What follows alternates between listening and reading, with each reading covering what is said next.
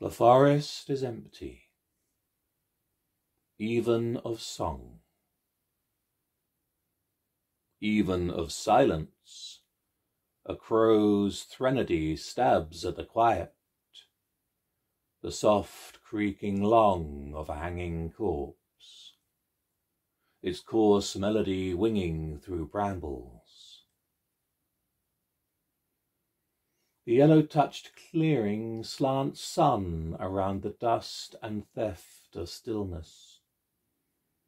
The blackbird settles, head held aloft, peering sharp through a sideways glance.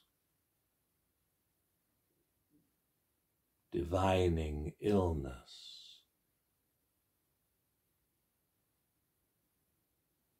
Stepmother silence, protecting her line, would smother all sound, but the wanton crow begs to differ, cries dissent, dressed to dine in formal black, descends upon the road.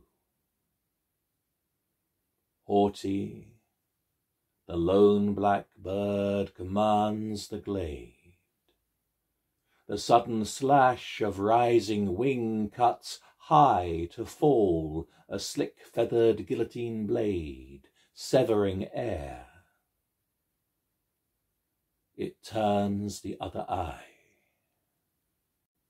Careful in his steps, suspicious of harm, the hunter dismounts, displaces the air of forest glade feels the earth, finds it warm, sees no trail of singers passing, no snare. He is canny. The heart of the clearing holds the last of a cadaver, a crow's repast.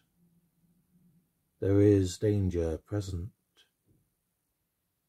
Hearing nothing, seeing less, undoubted. He knows. A solitary feather falls, slow drops onto spear grass of green and darkened red. The molten black plumage peels away, stops, reveals an arm of twisting white instead.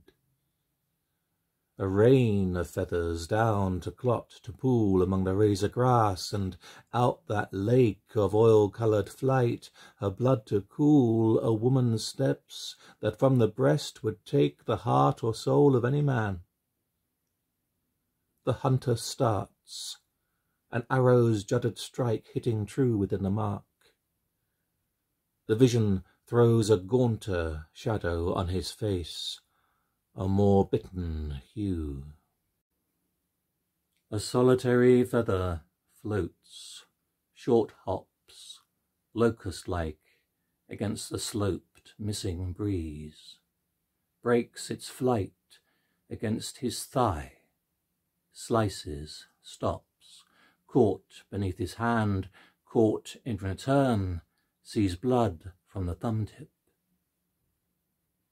Like a Fletcher's blade, a second black feather cuts the air. Straight as arrow's flight, he seeks to evade, is caught, sees his life flood rolling in spate.